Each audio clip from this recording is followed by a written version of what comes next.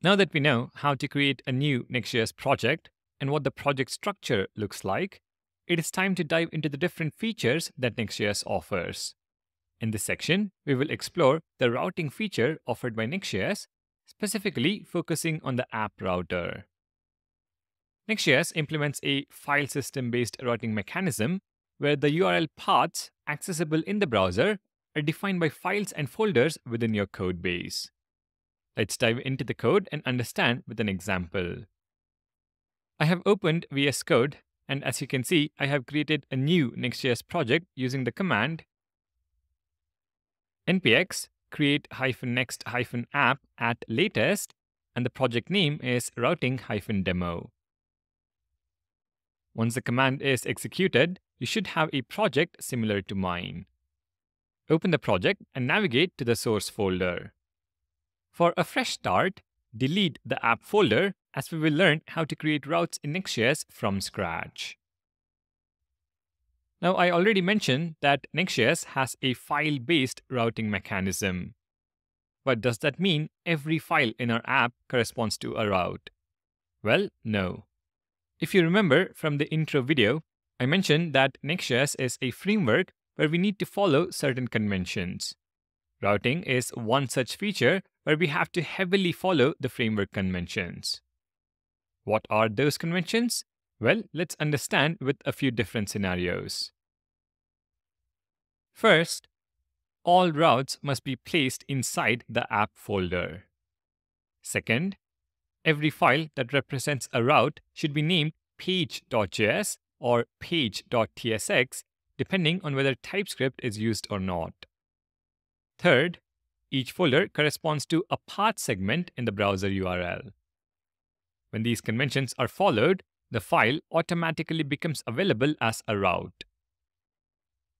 For scenario 1, let's add a route that needs to be rendered when a user visits our website. Our website is, of course, localhost 3000.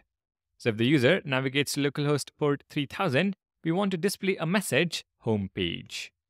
Let's head back to VS Code and implement this scenario.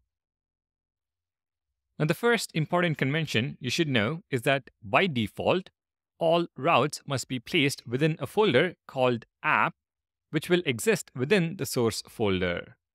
Let's create a new folder called app within source. The second important convention you should know is that every file that corresponds to a route in the browser should be named page.tsx. Page is the name of the file, and tsx is the file extension. Within the app folder, let me create page.tsx. In this file, I'm going to default export a very simple React component. Export default function home, and we return an h1 tag that says home page. The text, of course, can be anything you want to. For example, welcome home. And believe it or not, we have created our very first route in Next.js. We can now run the command npm run dev. And when you open localhost port 3000, you should see the text welcome home. So this is the first point to keep in mind about routing in Next.js. The page.tsx file within the app folder maps to the root of your domain. Scenario 1 has been successfully implemented. Now before we proceed, let's discuss the layout.tsx file. Although we deleted this file along with the app folder, Next.js automatically creates and populates it when we load the root route. We will cover layouts in detail in future videos, but it is important to be aware of this file being magically created. Next, let's move on to scenario 2. In this scenario, we need two additional routes. One route to render when the user visits the About page, and another to render when the user visits the Profile page. Let's head back to VS Code and define the two new routes. In the app folder, I'm going to create another folder. About in lowercase. Within the folder, I'm going to define a new page.tsx file. In this file, I'm going to default export a React component. Similarly, let's create yet another folder in the app folder called profile. Create a new page.tsx file. Copy the React component and change about to profile and the text to my profile. If we now save both the files and head back to the browser, the home page should still be displayed at the root route. However, if you navigate to localhost 3000 slash about, you will see the About Me page. Similarly, changing the URL to slash profile will render the My Profile page. Scenario 2 has been implemented. Therefore, the second point to remember is that routes are associated with a file based on the containing folder's name within the app folder.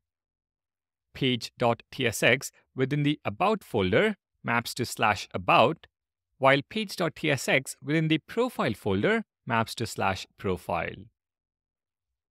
Here is a visualization of what we have learned so far. Page.tsx within the app folder is the root route, and then each folder corresponds to a URL segment. Now what happens if you enter a URL that cannot map to a file in the app folder? For example, slash dashboard. Well, Next.js will automatically respond with a 404 not found response. You don't have to explicitly handle a non-matching route. Hopefully, the concept of file-based routing should now make more sense to you. There is no need to install and configure a router with code. Your file and folder structure determines the routes. This represents Next.js' approach of convention over configuration for routing. We still have more to learn about routing, so let's continue in the next video. Thank you for watching, and please consider subscribing to the channel for more content on Next.js.